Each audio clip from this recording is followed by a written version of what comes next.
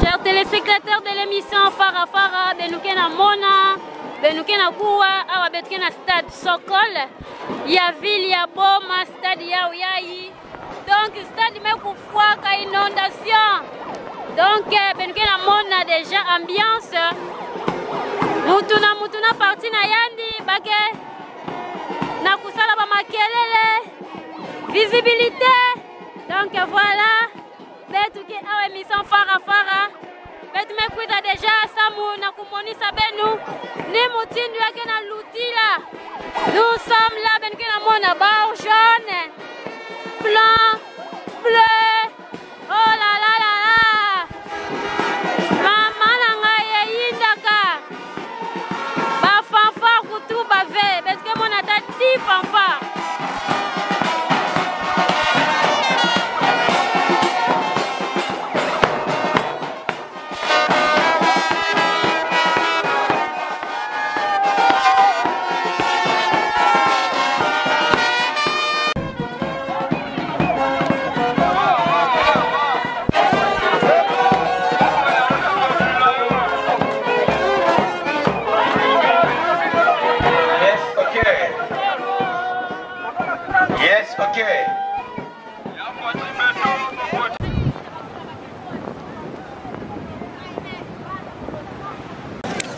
lundi 20 novembre 2023, le jour date attendu celui de l'arrivée imminente du président de la République, Félix-Antoine Tshisekedi Chilombo, pour la toute première fois dans la ville euh, de Boma, depuis qu'il a accédé au pouvoir comme étant président de la République.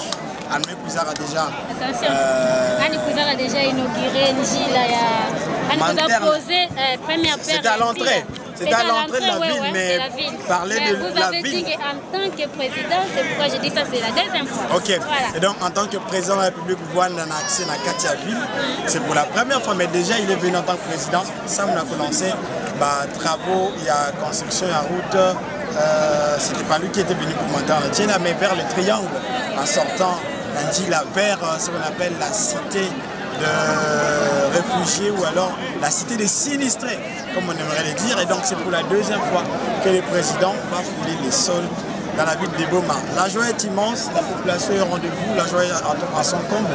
La chaîne YouTube C'est des tout là est là pour vous faire vivre cet événement En exclusivité, oui, mais en intégralité aussi. Euh, restez toujours branchés, partagez euh, cette vidéo et aimez-la. Abonnez-vous surtout sur votre chaîne, vous ne serez pas déçus. 14h l'arrivée.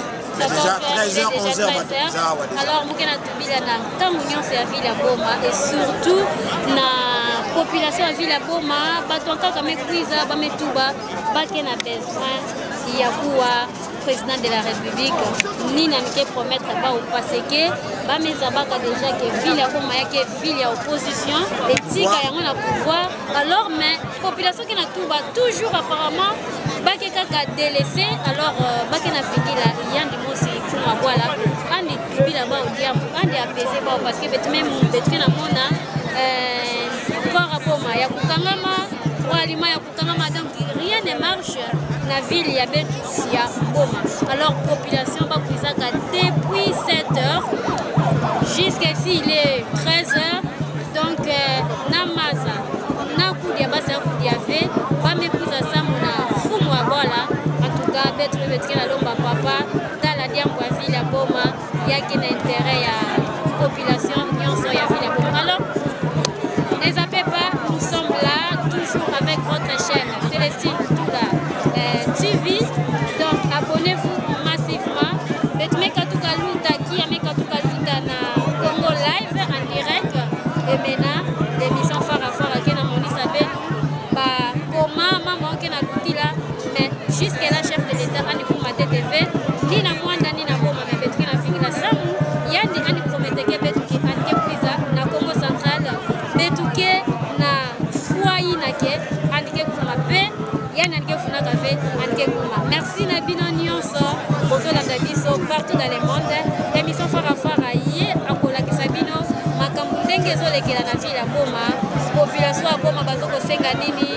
population bongo balobi ville na bango ekomi ukraine alors bazosenga na mokonzi ya eh, mboka ayeba na kobongisa eh, bakompagnie infrastructure misala misala social ya bana mboka yakele mbote mpe eza malamu te merci na bino nyonso bato bolandaka émission farafara bokontinue bokontinue bokozala desi te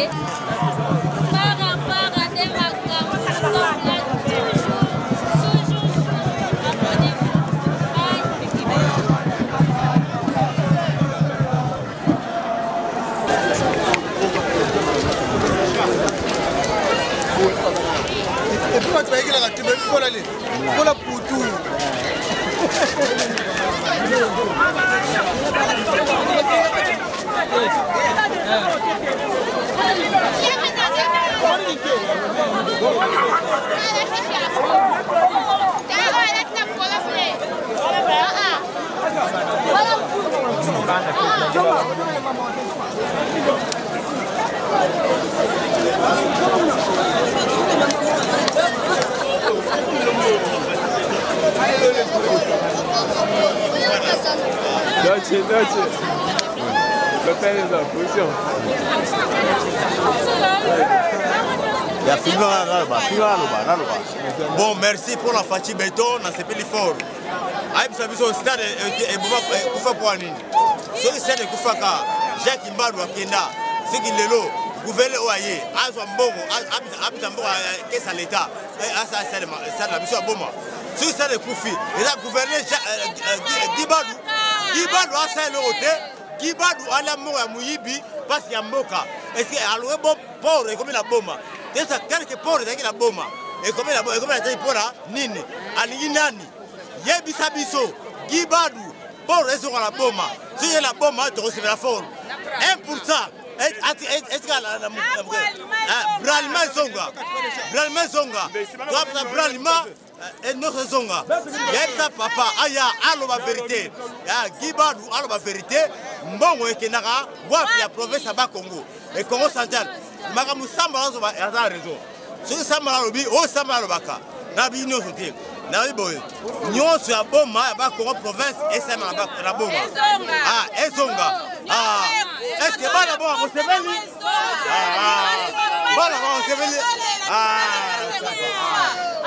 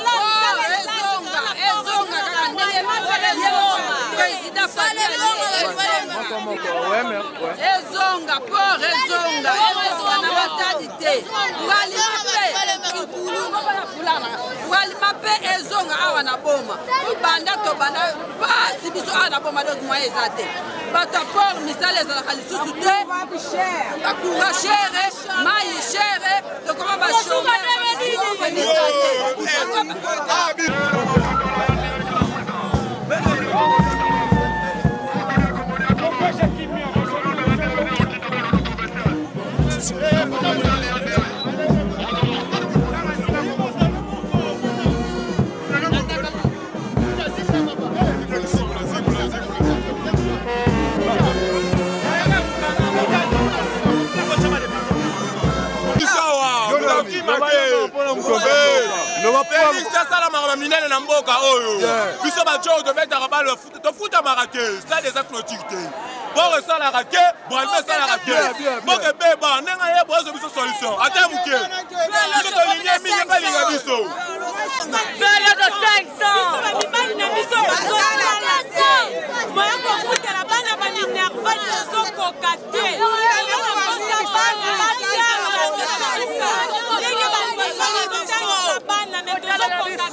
parce que mibali ba salaire ya malonga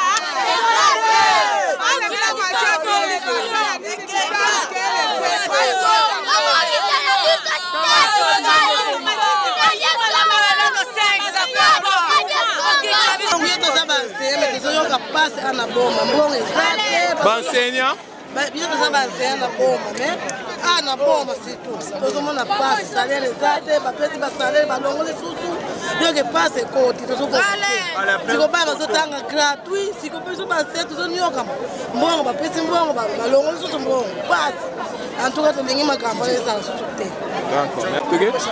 nakosenga na mokonzi ya mboka président de la république félix asala makambo minene ane oyo eza ane na ye neti biso bajoko na mboka oyo toza na stade te bajeune tala baza ebele mais eloko ezoboma biso stade eza te port ezofonctionne te yango tozosenga na mokonzi ya mboka ntango azoya awa ye moko amonaka makambo oyo bazolobelaka ye bamessage mosusu ezokomelaka ye te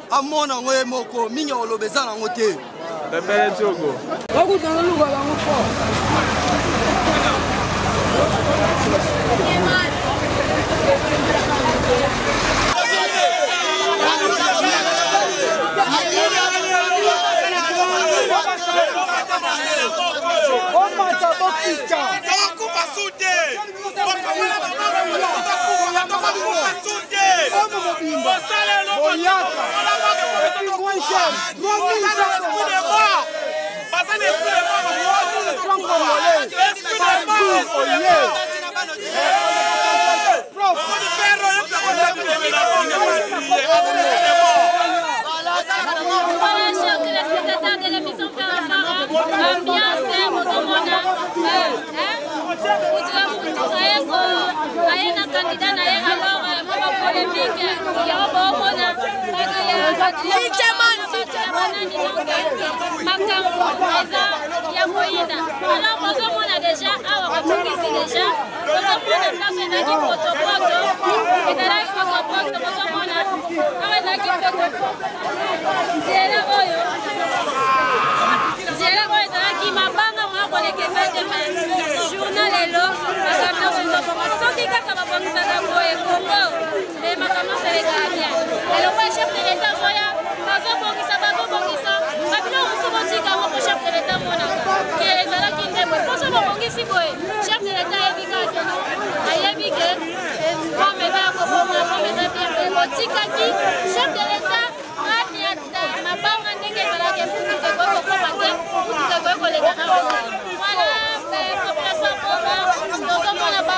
nasepeli kaka nde babongisa tomona makambo yango ebonga babongisi mingi mingi mpo nasebenete ya kongo ezalaka bongo so mokonzi aye osala baefort bapesa bango babiloko soki mokonzi aza te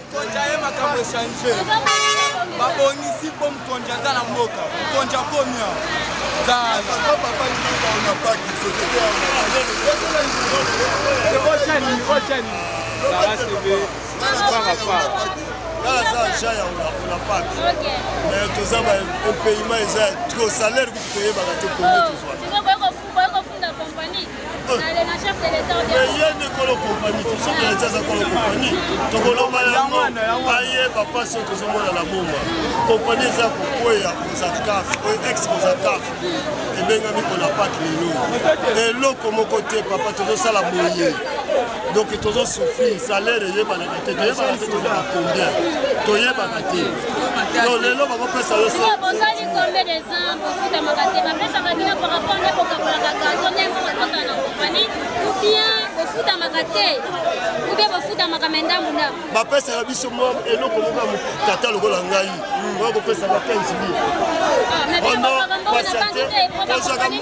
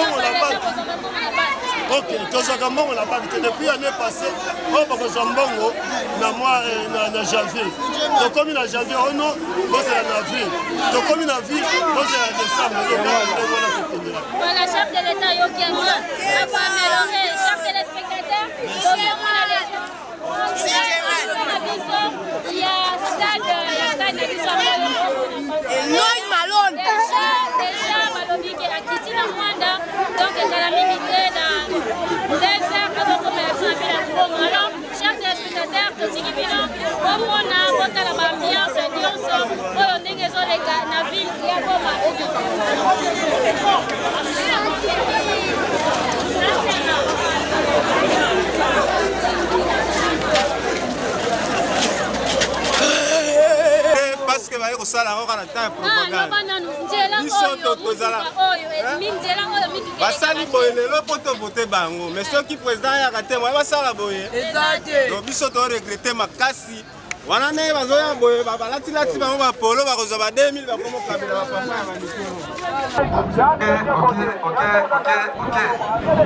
Yes, okay.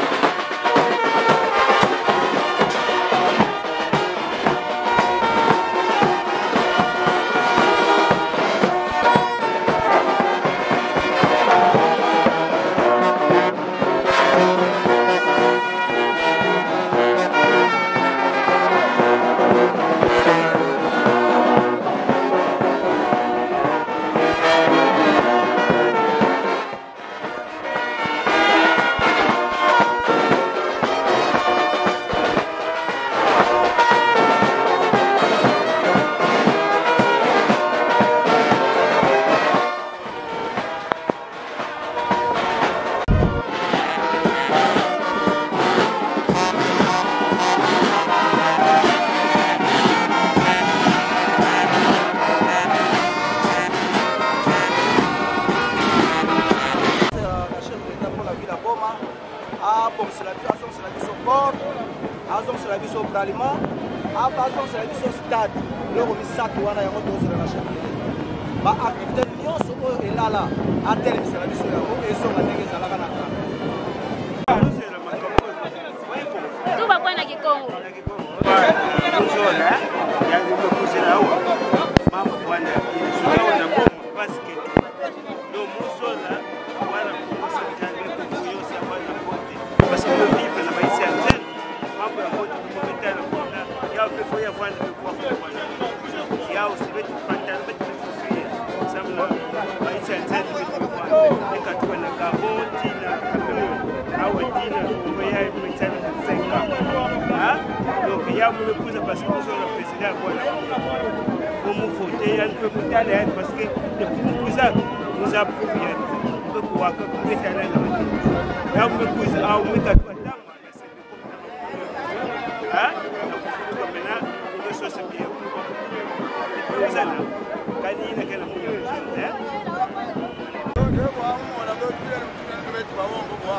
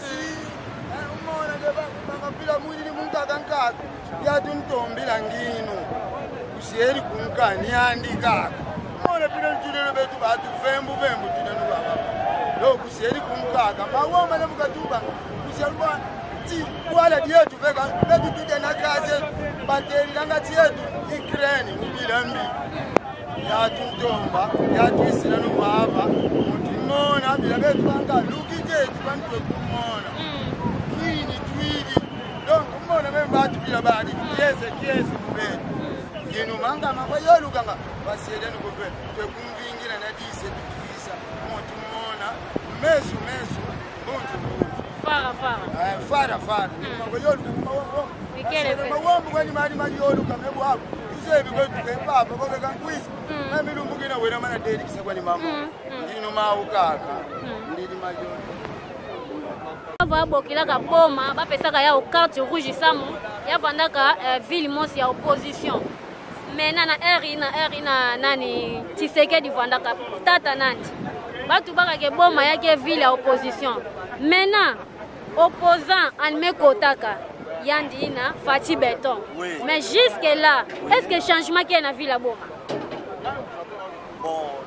Jusque là, beto monde était changement pour Michael V. Mm.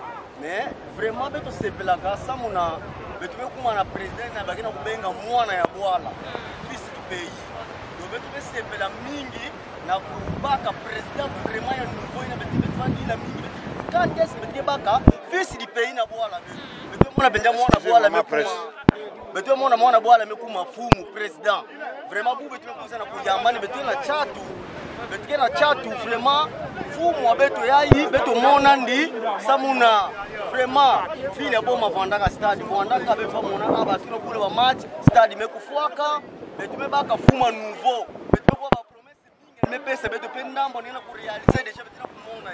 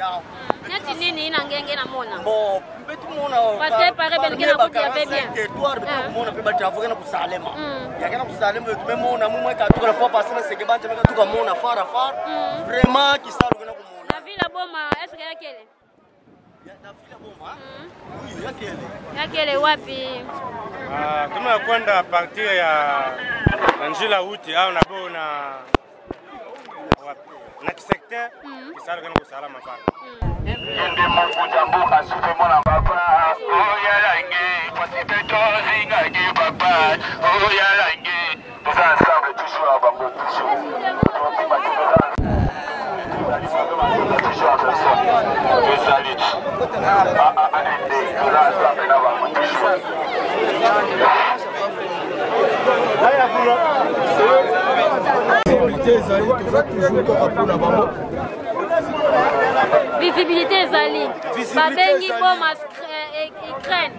aboma na minute oyo vraiment soki omoni ke bajeune batelemeli boma en tout cas swanga mpenza bien donc jeunesse aboma lelo oyo eza ya kokufa mm. donc lelo te toza boye tozoya mpenza liboso ya papa mpo toloba mm. ayeba susi ya jeunesse ya boma mm. donc boma stade ezalaka te boma entreprise oyo eza te ke oyo oh, lelo ke bana babimi badiplome bakende se retrouve donc eza te donc susi eza na biso mpenza ya makasi yango wana tala stade ndenge eza na kala ezalaki awa ke ata kutu ezalaki bien peta te me tobanda kokɔta tofuta 100 franc bana bazodeveloppe awa na ville ya boma pour le moment boma vraiment eza ukraine kutu eza bien donc toza na entreprise te barima ekufa bakompani ekufa infisque meme ta trois masuwa ekoki otelemaka te na port mpo bajeunesse ba vivre donc toza mpenza toza mpenza doki desi ukraine euh, donc ville ya boma ukraine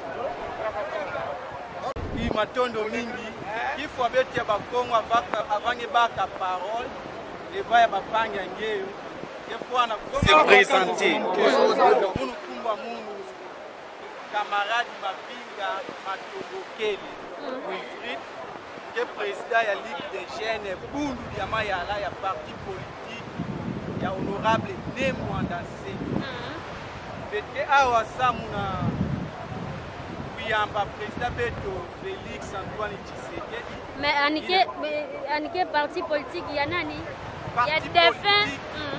ne mwanda nse beto na bumbi ya kongo mambo ba défunt keke fanda ve ok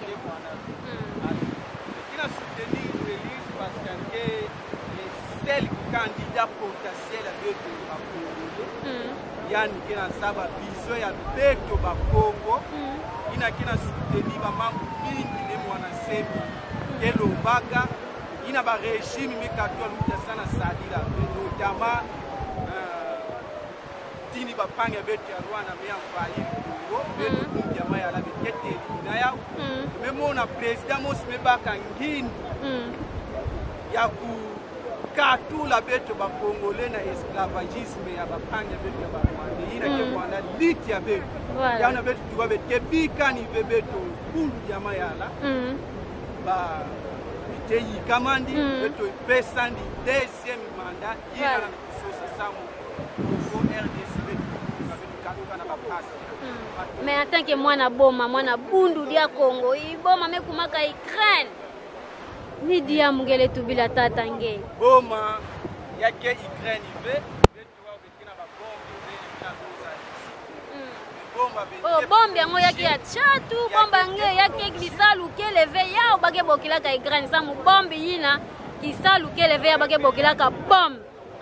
Goma bete plongé na crise économique.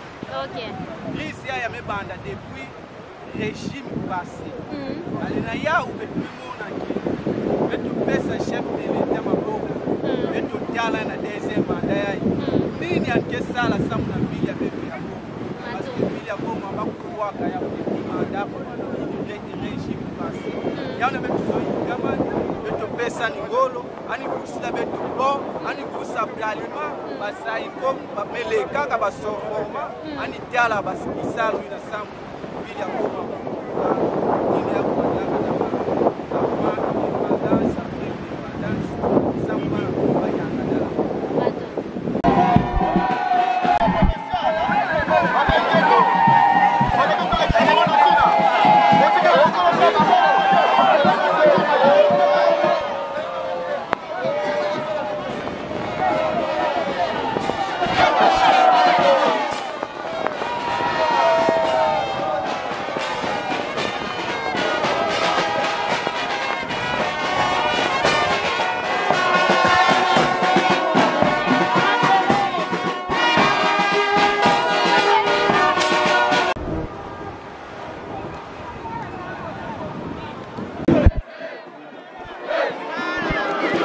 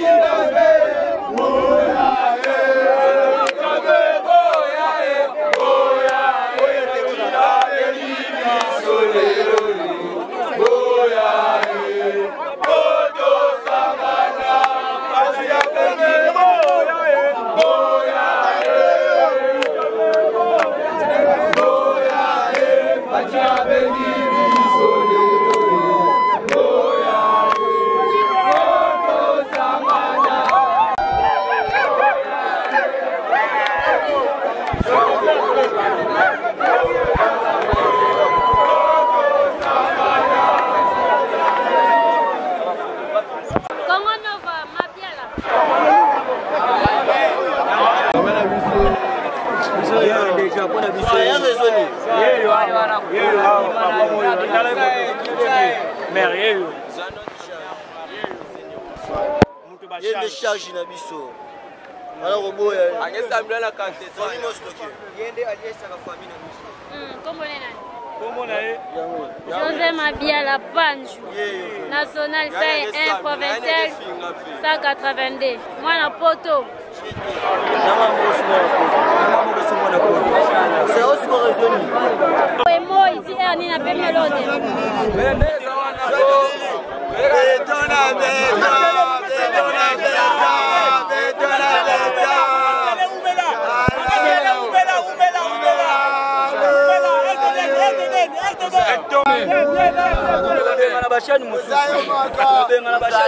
Emission fara fara. Ayebi na ye. Emission fara fara. Ayebi na ye.